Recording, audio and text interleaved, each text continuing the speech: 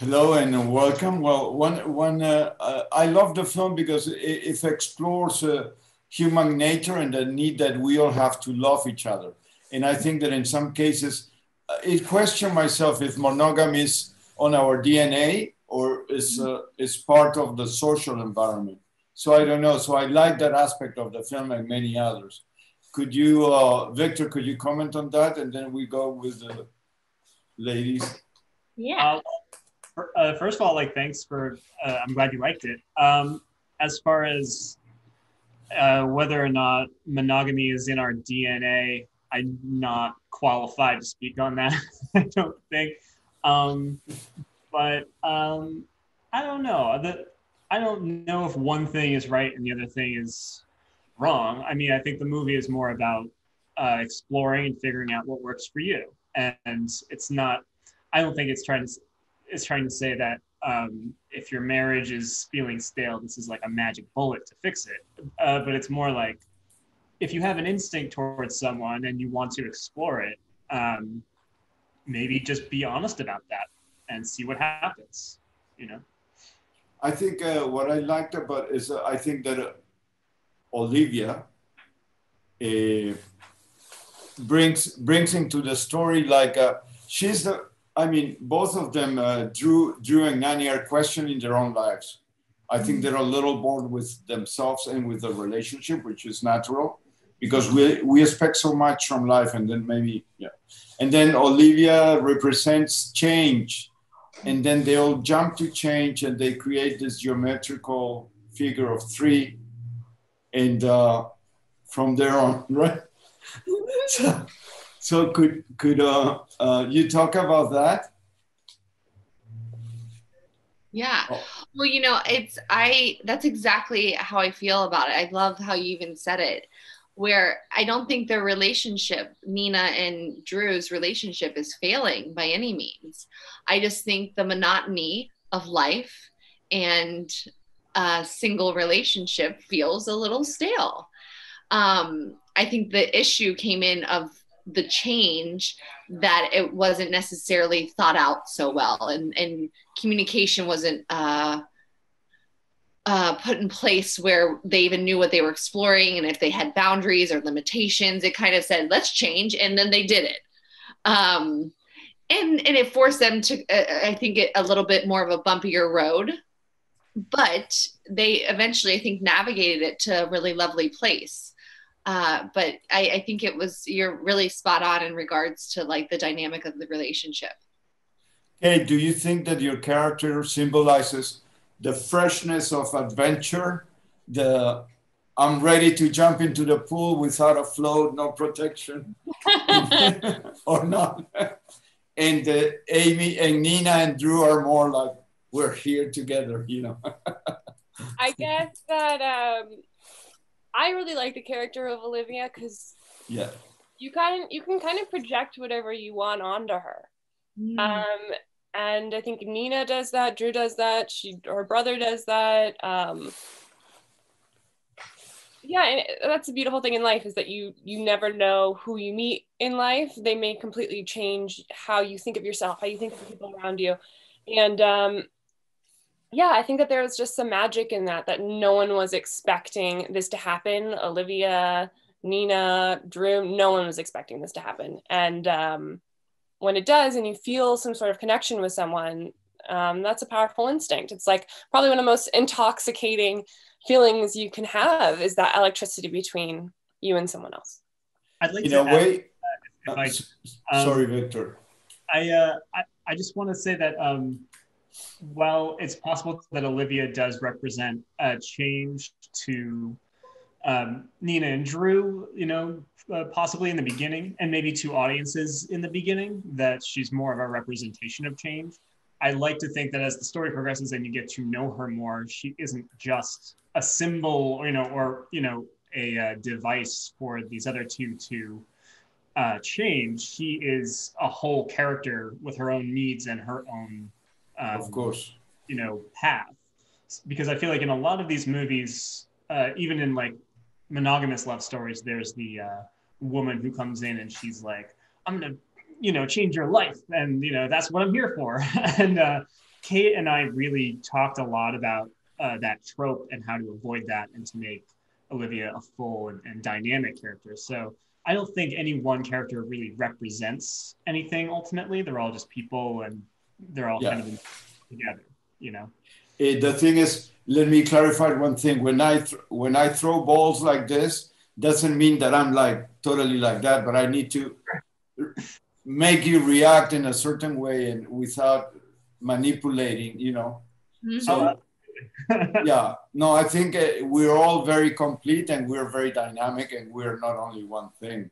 But uh, let's say, uh, so Victor, some people think that that uh, you're very close to Drew in terms of. Is that some a little autobiographical? I don't. I don't think so. I, I, I, mean, I guess we're both like, you know, five foot ten, like Irish guys with kind of red beards. I don't know. Um, I don't see. I, I honestly, I all three of the lead characters are different facets of my personality in different ways, and there's st- some ways that I relate to Drew, but I'd say Nina is probably more me if I had to pick one than of, of the three of them. And I certainly didn't cast Ryan because he looks a little bit like me. like, he does. I would rather cast someone who like doesn't look like me, honestly. But um, he was just so good. He was just the best actor I saw. So no one's gonna believe that is exactly. You, you know the great thing about the movie, at least I felt that way when I saw it, is that uh, I was able to be each one of them a certain situations. Oh. Because we're all uh, uh, diverse. We're not only one thing. So I, I was Nina. I was, I was Drew. I was Olivia. I love that. but Olivia, for me, uh, what she, I know she doesn't represent anything, but I, I'm more like controlling, like you know who. like who? It's like, like Nina Kate. Nina Kate. I, am I'm, I'm more that way as well. I'm more you of too? And uh, let me say, I think uh, the film uh, flows so well. I'm sure you had a great time doing it, no? Or it was, it feels so natural. It feels like a, a documentary almost. How did you uh, accomplish that? Uh, I think part of it is casting well and having a small and like fun uh, crew because the energy on set, even though we were all working very hard every day, was very loose, and we, and we were just showing up and like having trying to have a good time, you know, because you have to keep it loose if you want to get something natural out of people. And um, even though the dialogue is very specific and kind of heavily written, we would be reworking it constantly to try and make it feel more real, you know, like t- down to like one word. If it wasn't working, we would be t- always talking about it and always trying to make it feel more real. I think the movie lives or dies whether or not you actually buy the characters and what's going on with them. They explode and everybody opens up, and then we know who we are in a way. Mm. And we didn't know who we were before everything just happened, I think. Do you agree with that, Ryan Drew? Um, yeah, I think that uh, Brian a lot of instances, you know, uh, people have to go through a period of um, deconstruction and, you know, they have to face their worst demons in order to kind of progress. And um, I think that, you know, each character does go through that. You know, for Drew, he has to find a way to re- reassert himself and voice his opinions and stand up for himself. And for Nina, she's got to lose control. And um, for Olivia, Olivia's kind of elusive a little bit. I guess her thing is she she's got to tie herself down. You know, she's kind of been floating and drifting through life and not having to uh, account for herself to anyone. And and this is her opportunity to do so. Grow up a little bit. Yeah. Yeah, and and none of you, not, you know, all of you played it so sincerely. You know, no, not one of you was like cooler than your character. Like, you know what I mean? Like you you would approach everything from a very humble and honest, you know, egoless kind of uh, perspective. I didn't for a love story. I think it's important not to be. Well, I don't know. For this one, anyway, I didn't want it to be too cool. I wanted it to even you know we even have like a falling in love montage in it. Like you can't do a cheesier thing in a movie than a falling in love montage. But like i wanted to like lean into those things and be sincere about that because when you're falling in love it kind of feels like a falling in love montage in a movie you know? But so, you know what? I love the cheesiness of the montage with the cool. music and i felt oh my god i want to be one of them. I want to i want i want to I want to share my love with everybody. Bring me more. It's it's great. Why not? Why not make people happy with something that I mm. think um, part of the, the, reason why we go to movies is to uh, improve our perception of reality and find happiness. Uh, no, a, a, little. I thought it was. I don't consider it cheesy. Or maybe I'm very cheesy. I'm cheesy. I was just gonna say it. It right? Like it feels cheesy but those moments when you when you're falling in love those things happen. You're cheesy. You become cheesy right? Yeah totally yeah. talk in certain ways. I'm like i can't believe that word just came like i never say that phrase but like i can yeah. think of like a lunch with my husband.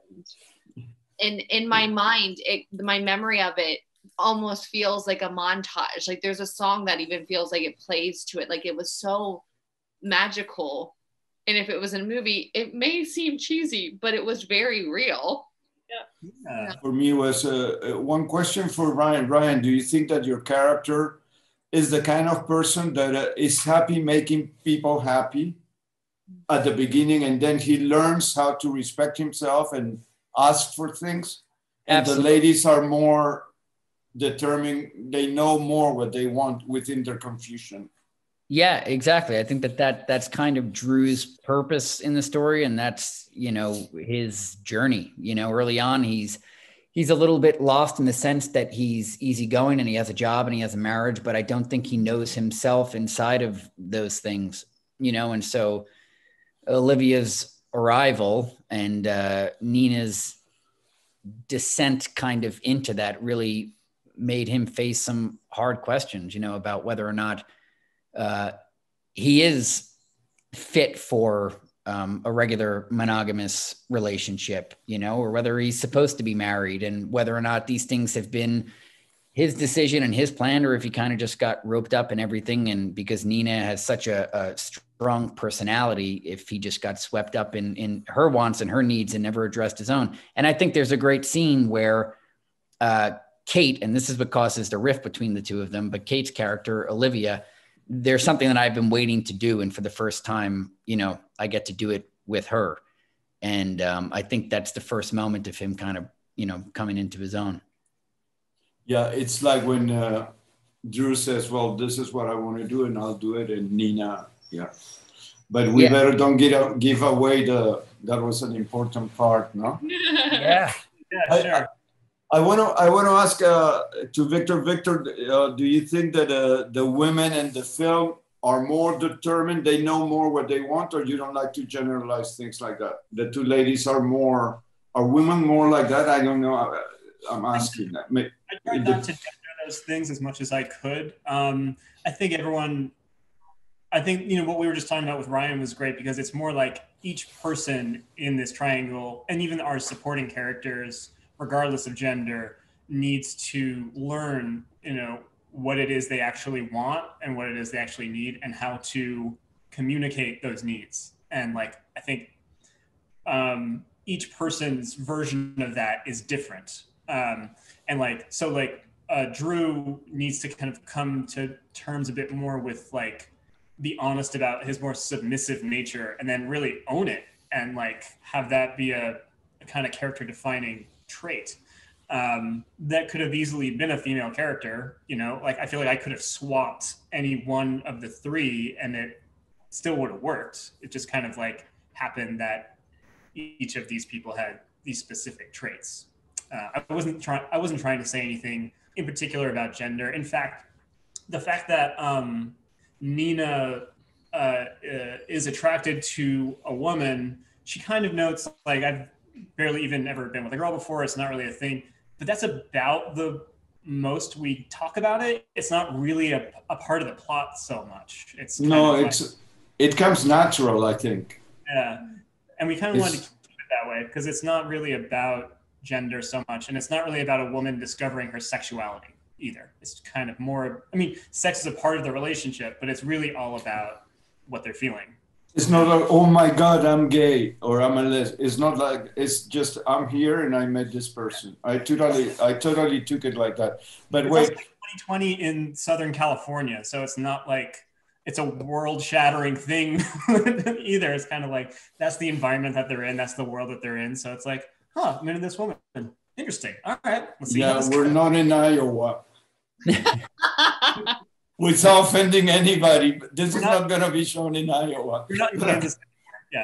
But I want to say that you, as a group, all of you have created. When I first started watching the film, I thought, oh, it's going to be a sweet romantic comedy, you know, a little superficial and fun. But then it became an, in, it became this exploration of the human condition very deep in a way. So it was very surprising how you guys guide us, manipulate us into something.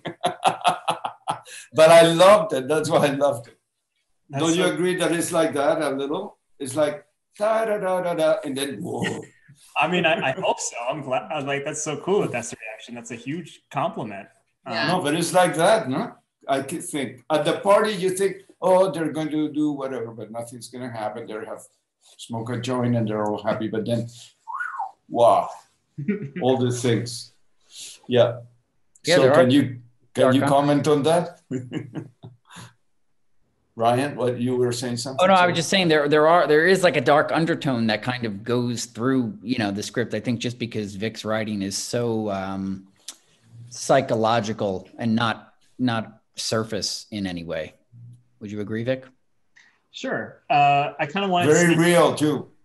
I wanted to. I want everyone to be kind of like, may, not quite a bait and switch, but I want everything to feel like it's winding up for one thing and then kind of zig when it's supposed to zag and keep you entertained and ultimately have it be bigger than uh, you know you thought it was going to be. You know, um, that that just seems like the fun way to do it. I didn't want to announce I'm going to make an important movie about the human condition. I want to be like, oh, we're going to do this sexy little movie and then oh did we accidentally say something kind of deep sorry i don't know it just seems like more fun a more fun way to approach it you know what's funny for me right now that uh, Rachel is more like Olivia, I think, right now, and Kate is more like Nina. so I think you reverse it on purpose. and, and you already mentioned that uh, me and ryan are the same person You're the same, yeah. You are. Look at you. That's amazing. Um, so I have a couple more questions because I think they gave us 15 minutes. This is going to be uh, two. uh, ScreenSlam is a YouTube channel. It's really cool. And then there's a European uh, platform that's called uh, Canal Plus. And, Oh, cool. um, uh, a cool thing there too. Uh, I wanted to ask. Uh, I I forgot. Wait, wait. It's coming back. I forgot the question. Ah, I know, I know, sorry. Uh, okay. Launching a film during the pandemic must be, I mean, for many people, there's a silver lining. The pandemic has bring the possibility to independent filmmakers and actors who love this kind of productions to let their work known because you don't have like big productions from Hollywood invading the theaters or the plat- streaming platforms. So Mhm. uh, how, if you could comment on the pandemic and how it has benefit, in a way, the launching of a film like that, or because many filmmakers consider that it, it's been positive for them as filmmakers, mm-hmm. not as people, but. The strange thing was when the pandemic hit the last thing i cared about was the movie. This thing that i cared about so much all of a sudden felt so small and was just like with everything that's going on right now it's just like i can't think about this right now you know? Um, right before it hit we had our festival premiere and got to do a big screening and that was really cool. It was really great to see the movie with an audience and i'll never forget that. Um, and you know since we've been doing virtual festivals so that's been interesting in its own way but a little awkward honestly. Um, i think it's cool to get to do festivals that are in florida for instance that we wouldn't have gotten to go to otherwise and I think it's cool that we all are doing these like zooms for publicity and stuff. Um, I think that's really fun. I also think it's kind of interesting that because of the pandemic, so many big movies are being now released straight to VOD. And in one sense, our Little Fish movie is competing with all these big fish movies for attention, but in a different way, the playing field is like level where we're getting essentially the same release as a giant uh, Disney movie or something. So like that's also very strange, you know. Like release date Wonder Woman first blush. It's like what? like I don't know. Um, it's it's it's a bizarre, not just for movies, just obviously in general. It's such a bizarre time. You know, it's just been absolutely crazy. I just need one more soundbite, and then I leave you alone. Uh, to all of you, what do you think? Award season is starting, like Golden Globes, all those things that are uh, uh, what do you think of award season? And uh, if it's a if these awards are positive for the film industry or for actors and directors and people like you let's say uh, what do you think they bring? If you can each one of you can give me a little uh, opinion a little testimonial really short without who's going first? Nobody. Okay drew i mean ryan. Um, I think that uh, the award stuff, you know, is uh, it's important to kind of you know recognize the work of of you know your your peers and highlight stuff that was really extraordinary. I think there's a lot of work that goes overlooked, and in that way, you know, award season kind of minimalizes um, a lot of stuff. And uh, also, I think at the end of the day, they don't really mean you know all that much. It's all slightly political, isn't it, as well? Oh yeah, I mean, you hear what these people have to go through. It's it's you know it's crazy. And those crazy campaigns of marketing for months, wearing high heels and and going to lunches and dinners and you know you got to really sell yourself in the movie. Yeah. Yeah. yeah. Um, I've never been nominated for an Oscar, you know, so I can't really speak to it. but did, you I mean, might, you might.